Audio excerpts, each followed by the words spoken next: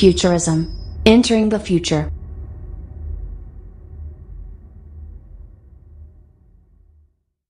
Today, we're going to look at one of the coolest parts of having experiments on the space station.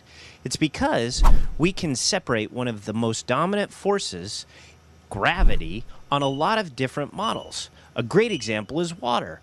Water is pretty much dominated by gravity on Earth, but there's other forces at work that if we understand better, we can have a better model and make greater discoveries. Things like surface tension, capillary action.